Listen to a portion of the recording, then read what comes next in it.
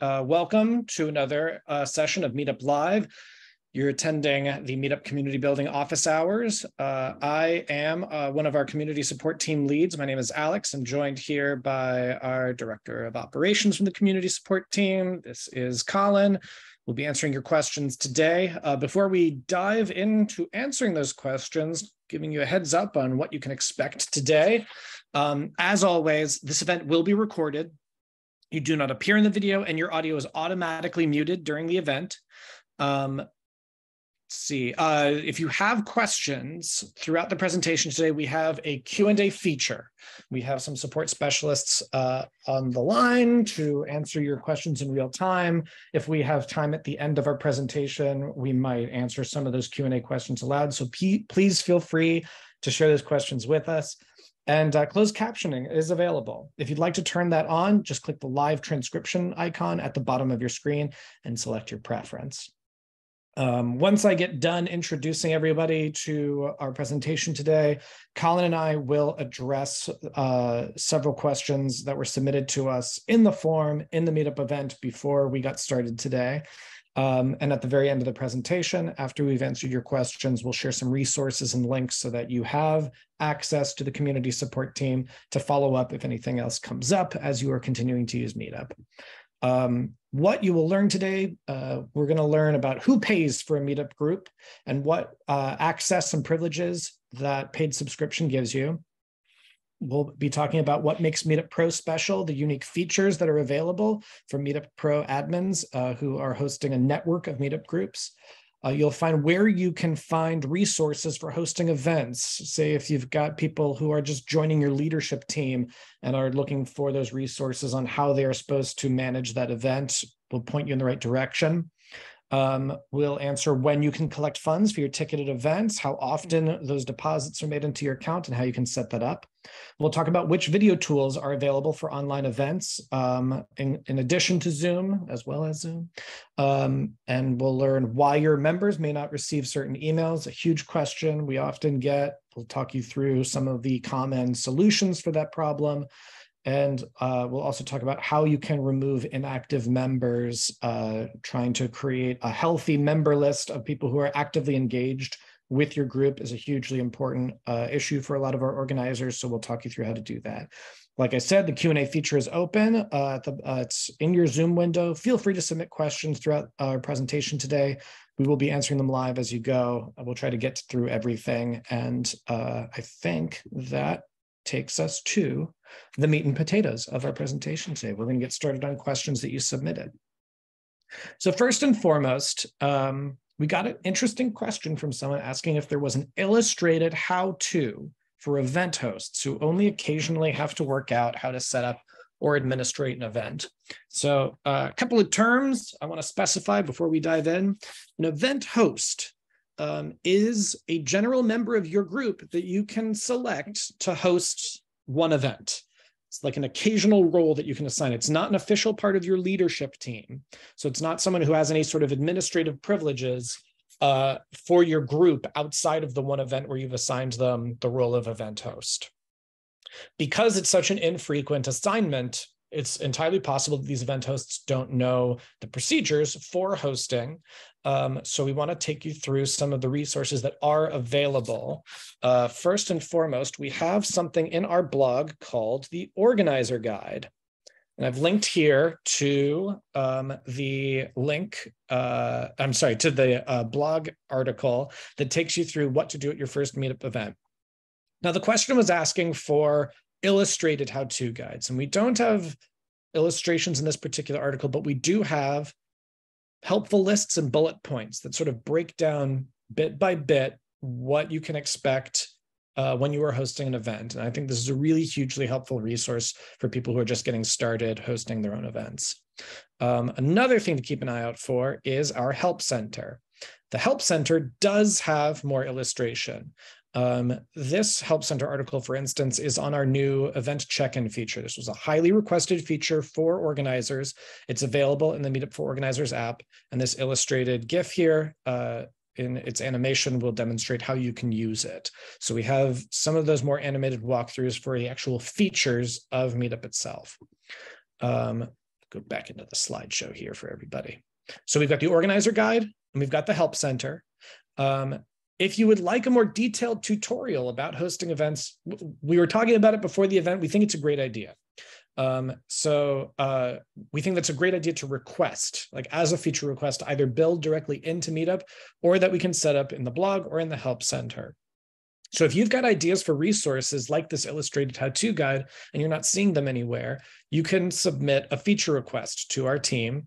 We'll process them. We try to make sure we can address them uh, in time with the different rollouts and updates that we make to Meetup. So we wanted to show you the process for submitting these feature requests so that you feel empowered to do so yourself. Um, so we're going to click on this submit requests button right here. You could also scan that QR code I had on the slide. We'll have that up later in the presentation as well. So when you go to submit a feature request by following that link, it's also available on the landing page for our community support team. Um, this feature request form uh, is set up in Google. The first thing you'll do is select which part of Meetup you would like to uh, see uh, uh, a new feature for. So because we're talking about a tutorial for events, I'm going to go ahead and select events. You could just as easily select other, or if there's something specific you'd like to see an animated tutorial for or an illustrated tutorial for, you can select anything else, but let's say events. Um, now it says event feature category. You'll get another set of drop-down uh, menus here. And let's say other.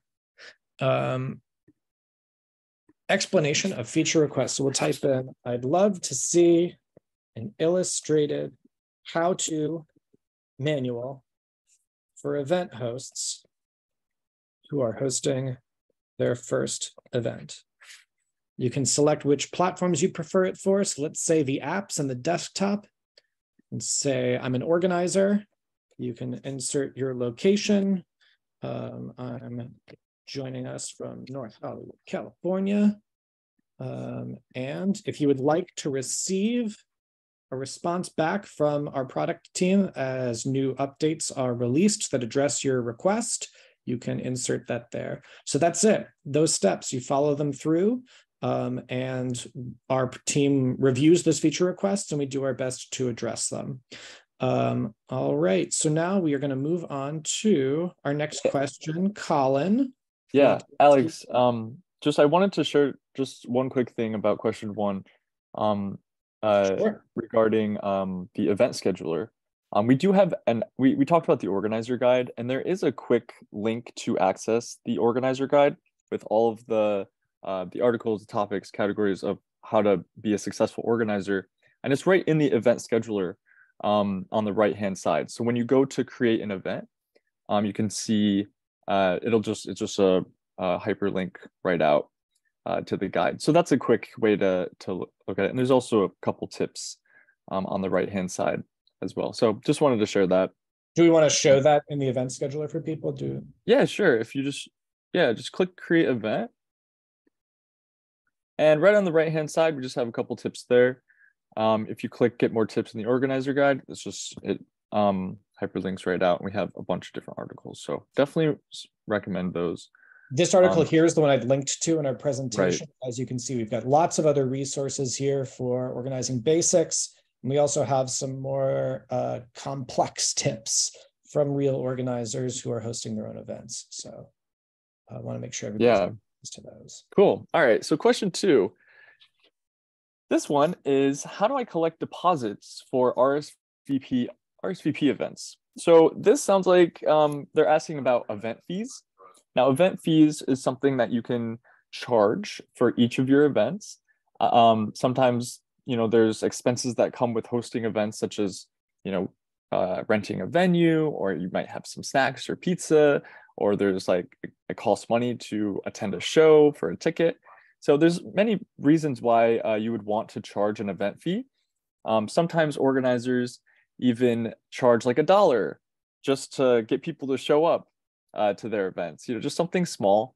Um, but it's uh, it's pretty easy to collect the money once you once people pay. Uh, we do use PayPal to collect event fees. Um, and so we have this article here for how to actually set up your PayPal account because you need to do that first before you can collect the funds. Um, so you'll set up your PayPal account, you'll link it to your meetup group, and then you can set a fee on your event. And when members RSVP, they're expected to pay right then and there. So they will need to pay with their credit or debit card. And when they do, then their RSVP will be confirmed and they'll be ready to go. So they won't be able to um, actually say yes to going until they RSVP. So that's a, a good uh, uh, fun function of the event fee feature. Now, um, in order to actually collect the funds from the, the ticketed event, uh, we can you can go over to your manage money page, which is kind of in your group settings or organizer tools section. Um, so I guess to show. Yeah, if you could show. Um, this is my uh, this is my yoga group. If you go back and you can click manage, you go to your group homepage and you click manage group, and then you select manage money. This will show an overview of all things money reg- uh, related to your group. Now we do have other money uh, products on Meetup. So we have member dues, we have fundraising and event fees. Uh, this right, and, and also sponsors. Um, this is uh, an overview of all of that. So um, you can see, uh, see, you can see that I don't really charge event fees or anything uh, for my group. But if you did, you'll see an overview here, um, and you can um, you can you can kind of just see everything uh, in transactions at the bottom as well. Yeah, so hopefully that was helpful. Cool. Um, and that's pretty much it. Um, if you want to go to, oh, Alex, can you show, can you go back, sorry, can you go back to um, the, the account and click uh, my profile uh, uh photo in the upper right? sure. And then we'll go to my account settings, click set, uh, settings. And I just want to show them how to set up a PayPal account. If you scroll down to payments received,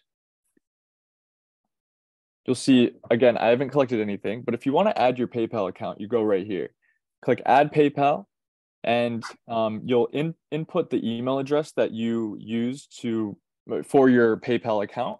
Now, just note that um, when you do link your PayPal, when members go to pay, they will be able to see that email address.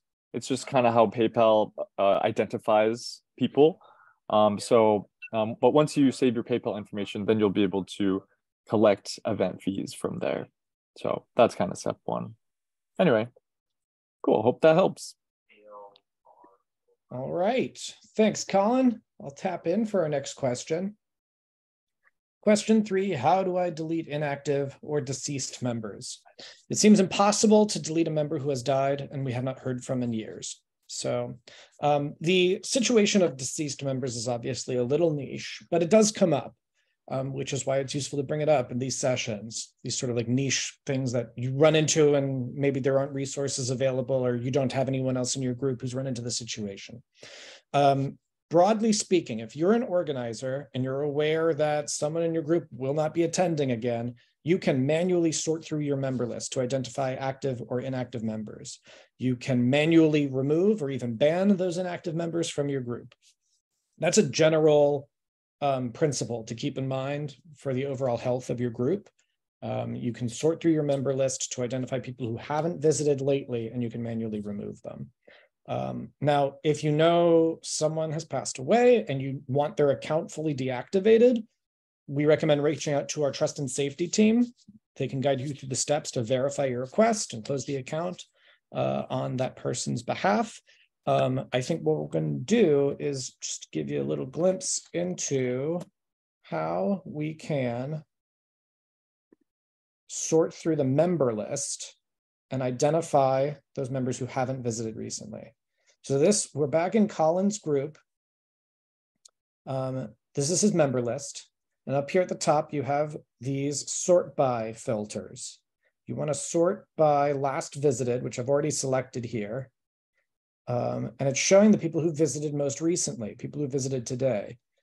This up down arrow here, if you click that, it'll re-sort them in reverse order. So you'll see at the top people who have visited the longest time ago. You click this three dots icon here, and you can click remove from group to manually remove them. If you have a lot of members in your group who haven't visited recently who you'd like to remove, we recommend reaching out to our community support team. We can do a bulk removal for you. Um, that's, uh, I think, something to keep in mind about that is if you manually remove somebody, you get to send them a message, which if they're still alive and you want them to still be participating in your group and you want them to be re-invited to rejoin the group, sending that personal message is useful. But a bulk removal on our end, we don't have the option to send a message along with a bulk removal. So some some some tools and strategies to keep in mind. Did you want to weigh in on that, Colin? Yeah, I just wanted to kind of emphasize that it's totally okay um, to remove members at your will. Like this is your group. You want you, you know if people people's circumstances change in life and maybe they joined your group and they're interested and maybe they've moved or maybe they just aren't active on meetup at the moment. Um, so you know just for the health of your your uh, membership um, we definitely encourage that and it's totally okay uh, like no hard feelings you know? Um, and it kind of gets you uh, to focus on the members who are more engaged and more active at the moment and they can always rejoin your group unless you choose to ban them for whatever reason. So yeah, just wanted to kind of share that. Great, thank you. All right, we're going to move on to our next question. Um, All right, yeah, question four. This one says, if I take over a group by paying for its subscription, can the person who started it take it back and still control what I do?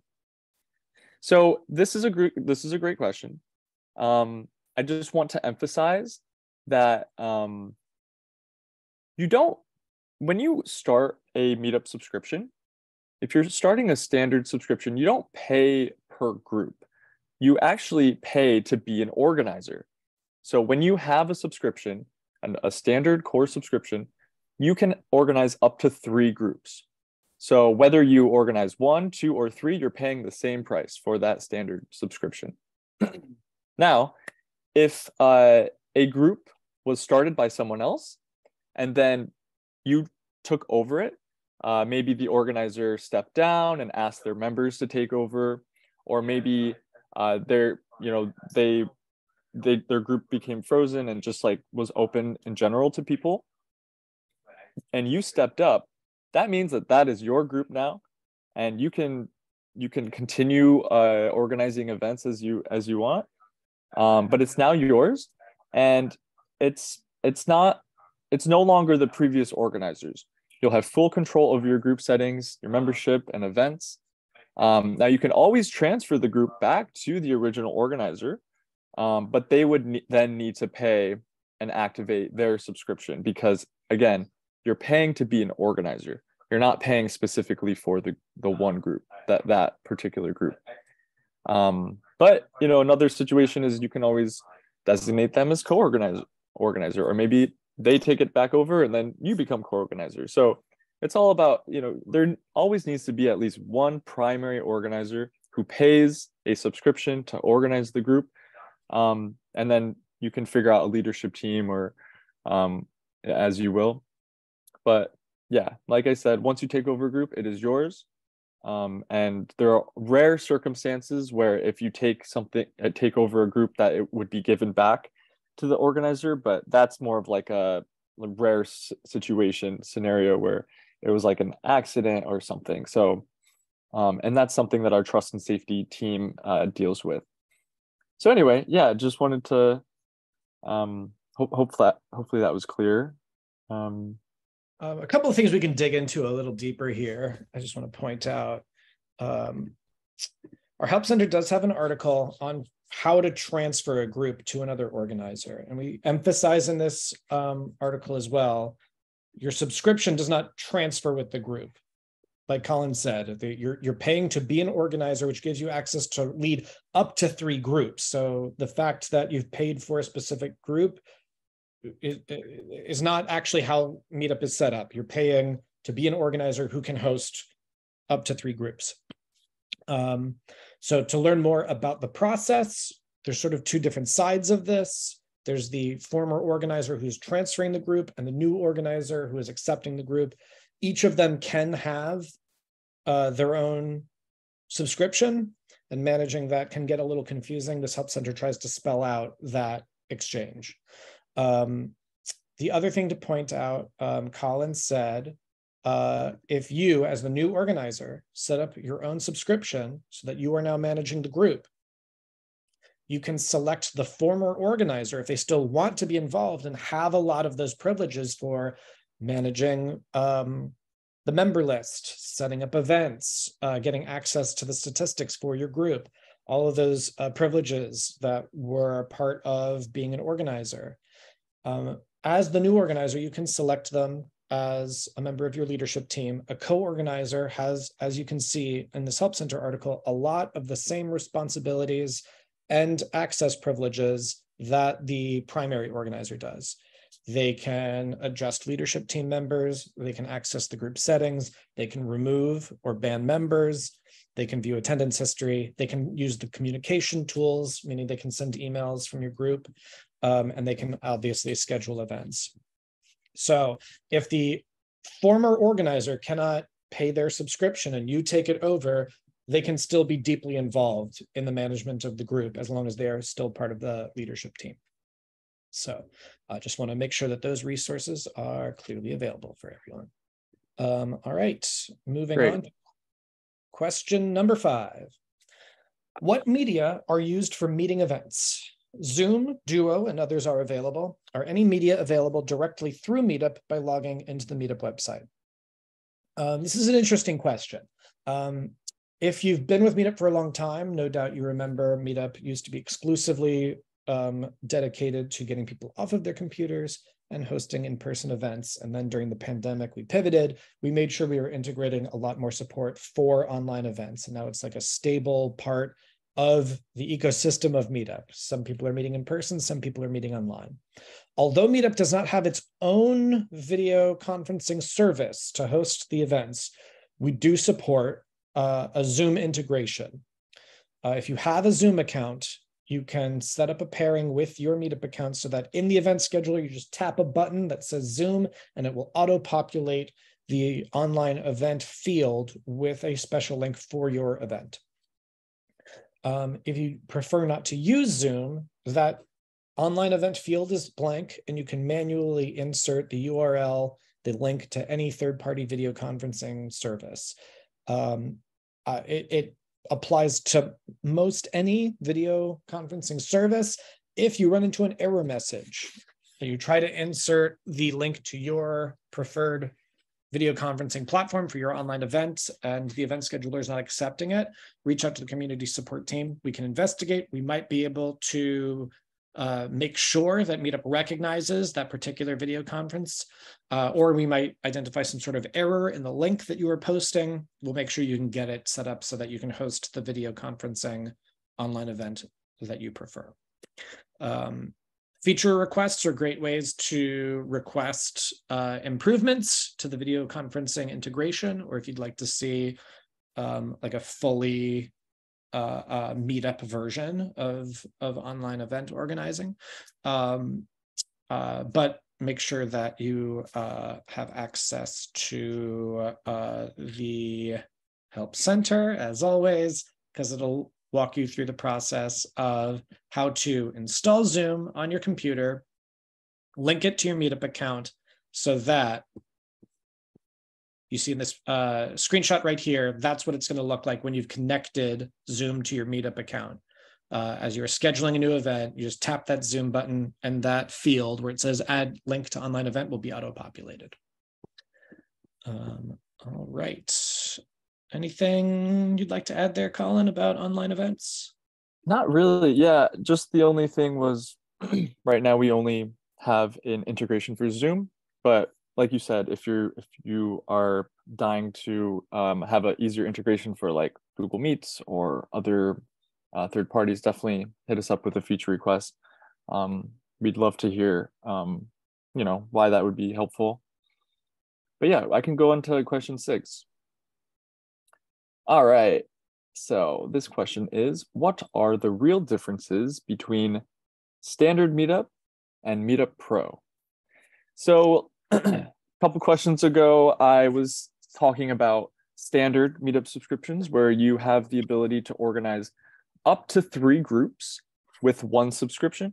So you pay and you can just organize three of any you know category um, with unlimited membership, etc.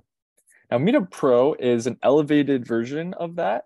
Um, a lot of our pro subscribers um, are either like enterprise companies or businesses or or just someone who wants to have uh, groups in different areas um, as like a network of groups um, and usually that network has that like kind of um, that thread of like uh, like a same like a theme you know like a, a you know for example google has a bunch of groups all over the world and google might have a, uh, a pro network where they can uh, have groups in different areas of the world um, and then they schedule events in those locations. So but it doesn't have to be as big as google. You can have your own little network of whatever you want. So meetup pro you, like i said you can have a network of more than three groups. Now keep in mind that this is uh, the the pay the payment is different for pro uh, you are charged per group for this subscription uh, uh, compared to the standard where you pay one subscription and you have three groups. Pro is different, you pay per group. Um, also, you can have access to an analy- analytics dashboard. So that is a pro dashboard where you can see a bunch of things like um, RSVPs and um, different network events you schedule and membership. Also, um, if members have shared their email address with you, you can uh, see all of that on your members list. So um, do we want to you want to give like a preview of the the pro dashboard maybe Alex? I yeah, have, let me um, see if I can get that set up for us. Yeah. Just about. So yeah, yeah. While you do that, I'll just kind of share a little more. Um, pro is like I said, you can collect emails and then you can um, connect a Mailchimp um, account to it, and then you can contact all of those members uh, with their email addresses through Mailchimp and send you know campaigns of whatever you want.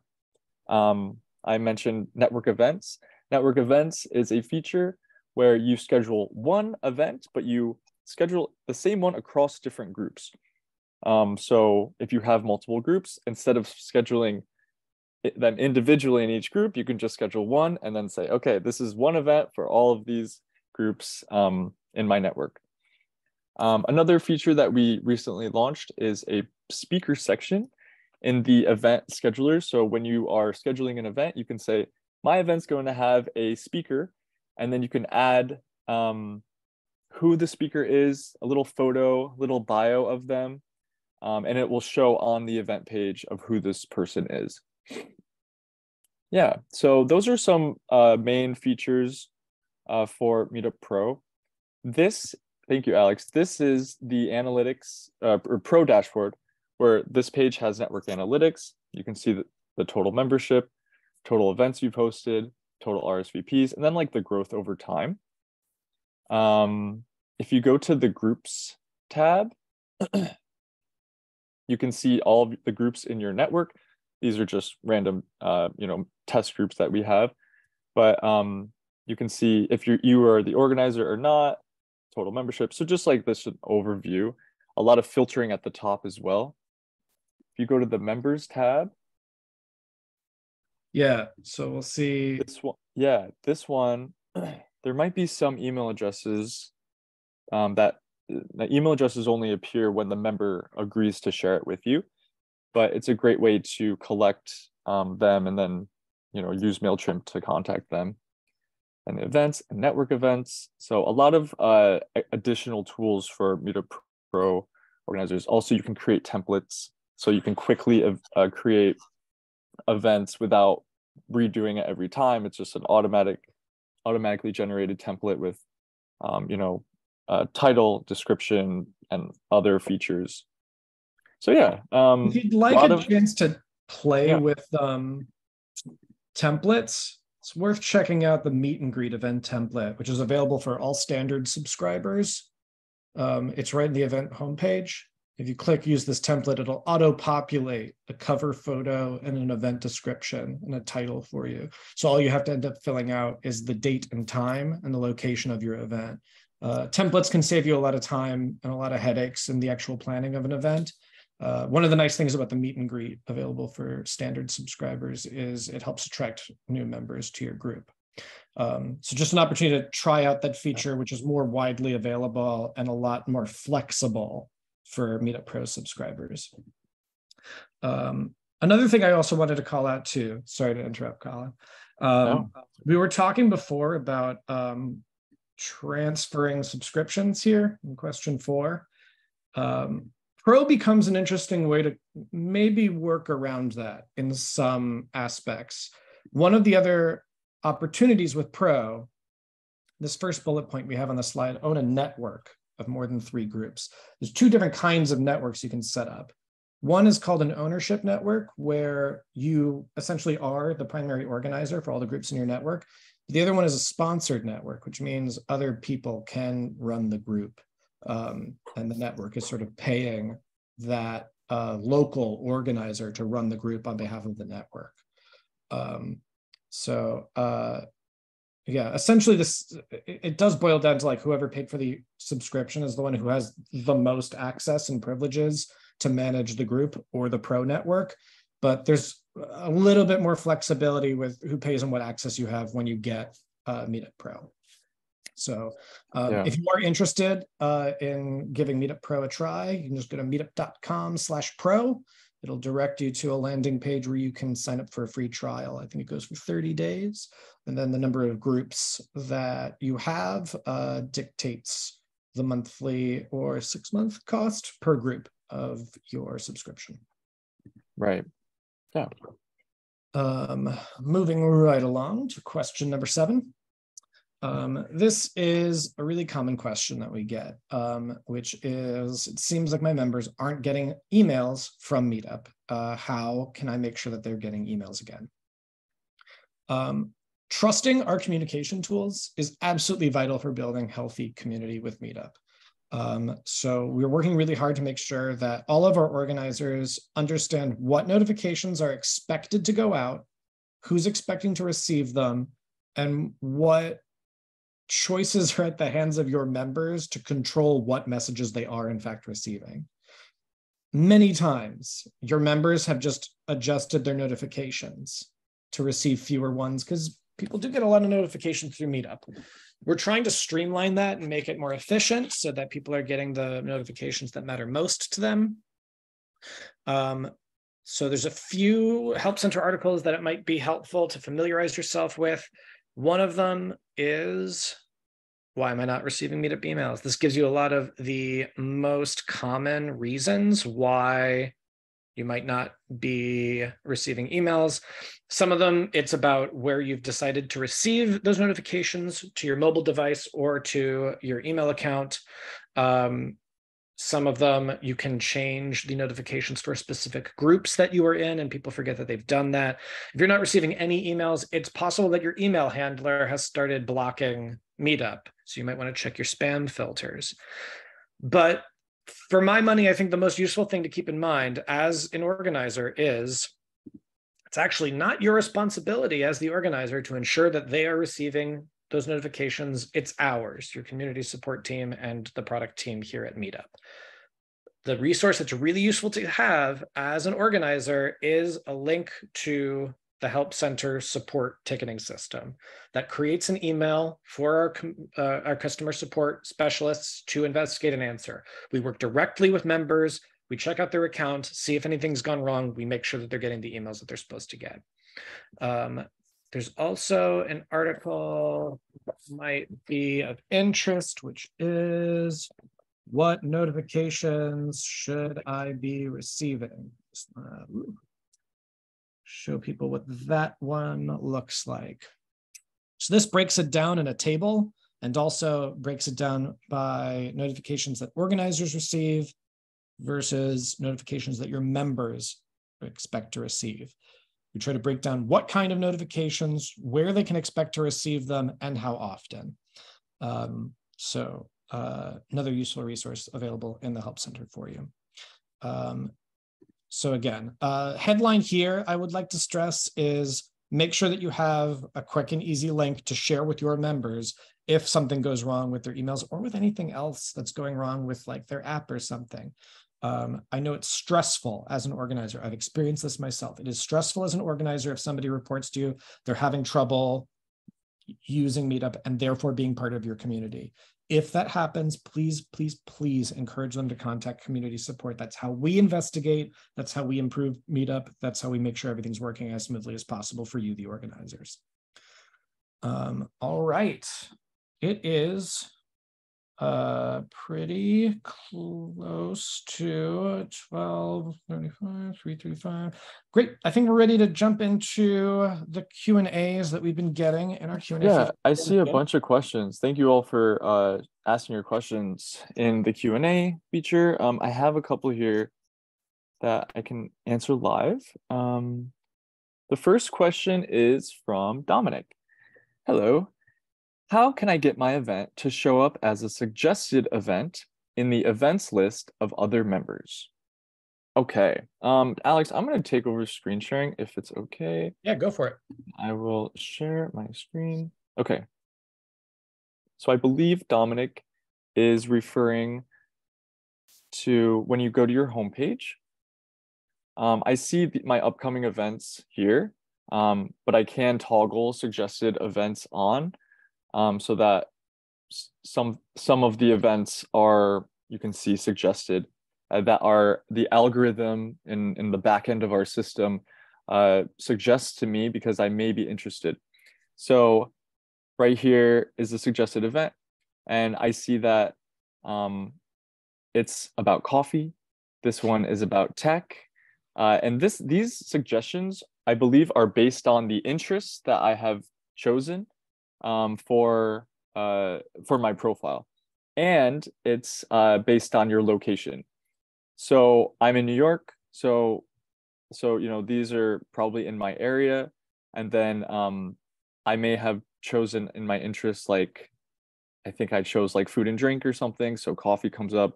I think I also chose tech or like computer. I'm not sure. Uh, but yeah, that's the idea. Is like it kind of shows you suggested events. So this question is how to get his events to show up, and I think the answer is a little tricky because it really comes down to the members' interests and location. So our algorithm takes into account what your event is about. So make sure to um, add as many interests or sorry, as many topics to your group as possible um, and add topics about uh, in your event when you're scheduling it and make sure to include uh, some details detailed like keywords that you think people would be interested in in your event title and description just so that our algorithm and our, our system can pick up on those words and then say okay this is likely uh, uh, this is something that we think um, this member in particular would be interested in so we're going to suggest it to them so that's the best advice I can give. Um, um, there's not like a direct way to do that, um, but just um, hopefully that'll that'll help. I think also if I'm looking in the search, I'm not sure if there's a suggested. Yeah, I think the relevance, um, you know, when you do a regular search um, and you sort by relevance, like the relevance does uh, bases it based on like location and and keywords. So anyway, hopefully that helps. Let's go to the next question. Yeah, next question comes from Mike. Mike asks, I'm already an organizer. How do I increase my participation at my live events? This is a great question. It's a huge part of being an organizer. How do you actually get people to turn up? We have been hosting uh, a few Meetup live events over the last few weeks, specifically around the idea of engagement. Some of the highlights that I can point out are uh, first of all, making sure that your group title, your group description, and your event titles have the major keywords of what your group is about. Uh, Colin just searched for running. So making sure that if you have a running group, um, rather than having a group that's like named after a, a, nickname of your group make sure that you have like running or jogging or whatever the specific focus of your group is uh, a lot of our search engine works around those keywords so making sure that it's easy to search for your groups big way to attract members to finding your stuff. Uh, number two, making sure that you have regularly scheduled events. Um, and I don't mean recurring events because recurring events are a little um, misleading sometimes. A lot of organizers can set up a recurring event that just keeps recurring forever, and it's not clear if people are actually still attending this event. If a new member joins your group, sees that there's a recurring event and that no one is attending it, that can be a big turnoff. So, what I mean by having regularly scheduled events is making sure you have one event that's scheduled in make two weeks and another one in three weeks and another one in five weeks just have a handful of individual separately focused events that have some attention already around them make sure that your existing members who are engaged know that these events are coming up and that they rsvp to them um, we've seen a lot of statistics around uh, people new members feeling a lot more motivated to RSVP to events if they see that there's a lot of activity there. Uh, event photos, huge attraction for people joining these events. Um, now, if by participation you're saying, how do I get people to actually show up? Um, what I've been hearing lately from organizers such as our mentors who are available in our uh, meetup organizer community on discord. We'll talk more about that at the end of our presentation. Uh, some of the mentors have been telling me they find direct messages and regular communications using the contact members tools are really really huge in making right, sure like as a reminder you can use it as just like hey looking forward to see you seeing you later. I use event chat i use uh, comments. You right. members tool as just like kind of like your own little reminder or we or offer a variety of communication tools. Event chat is the most recent and the idea behind it is to give you this real time space to communicate specifically around one event. Um, we offer a, a, number of these communication tools so that you can test and see which forms of communication work best for your group but what I have learned is that the more investment you put into communicating, and I don't mean necessarily following up like, hey, are you going to turn up? Because that can become pressure for people. I mean, gently checking in with people and being, uh, like Colin said, excited to see you is great. Uh, one of the mentors even said, if you have RSVP'd and you know you're not going to make it, would you please change your RSVP? No hard feelings. Just want to make sure I have an accurate head count. That lets people feel a lot more comfortable about changing their RSVP, giving you an accurate head count. And then if they did change to not going for that particular event, they're that much more likely to then attend in the future because they felt welcomed, that it was safe for them to change their RSVP. So, um, Alex, we should share because you just did a Meetup 101 last week. It's the title was From RSVP to Attending or to Show Ups. And uh, I think we should share the link for people to watch the recording I'm not sure if Emily has it on hand, but um, love to share that because it's it was uh, two of our mentors who joined Alex kind of talk about how like good strategies around getting people to participate and actually show up. You know, because it's one thing to RSVP, it's another to actually attend. So right. um, if if uh, I'll I'll try to find it, but Oh, there, it is. Emily's just posted. It's a recent blog article that includes a recording of that event. Um, yeah. If you, if you have more questions about boosting participation, engagement, making sure that your RSVPs actually show up, strongly recommend that uh, that yeah. Emily just posted. Um, so we're at time, and uh, we have we've gotten a few more questions, but um, we will save them for our next office hours, which we will do next month. Um, so thank you so much for everyone for submitting them. Um, and yeah, really appreciate you all. Let's make sure that we've got some resources live for people um, who uh, would like to make sure that they can contact us on the support team. Um, first of all, uh, we walked you through the feature request form. If you scan the QR code on the top left corner, you will have access to submit your own feature requests. If you don't have suggestions for additional features, but you just want to stay up to date on what is getting launched on Meetup, what is available on the website or on the apps, the bottom left-hand corner QR code will take you to uh, the product updates in our Community Matters blog. I've been trying to share a lot of links with our help center Um, we try to make sure that as many resources are possible as possible are available for organizers and members who are navigating and using Meetup. Um, hopefully, a lot of the answers you're looking for are available in the Help Center. Um, and if something's gone wrong, if you encounter an error message or something is working in a way that you don't think it's supposed to be, please submit a bug report. The bottom right hand corner will create a ticket for our team who investigates bugs and errors on Meetup. If you submit there, we're able to investigate a lot more efficiently, a lot more quickly. We can roll out fixes more efficiently and quickly. Um, I mentioned the organizer community on Discord. Uh, this is a rapidly growing community. We're really proud of it. It launched last year. We have a team of organizer mentors. These are seasoned, experienced organizers with thriving groups who share their experiences and their tips for how they are managing their groups. We have uh, new organizers joining all the time, sharing their experiences. If you'd like to scan this QR code, you'll get set up uh, on Discord, which, if you're not familiar with it, is an instant messaging platform. If you don't have an account already, you'll have to create one, but you'll have access to this wealth of information and community uh, specifically around community building that we're really, really happy to be hosting. Um, and last but not least, we have the Keep Connected podcast with our CEO, David Siegel. We host interviews, we tease upcoming uh, features and events and thoughts about where Meetup is heading. You can subscribe to this podcast uh, by scanning the QR code. Uh, at the beginning of the year, I believe we had an interview with singer songwriter Jewel, which was quite exciting. Um, so please uh, feel free to subscribe, and uh, we will see you at our next Meetup Live event. Thank you so much for submitting your questions. Uh, we hope these office hours were useful for were useful for you, and we will be doing these again. Yes, um, thank you so much, everyone. Take care.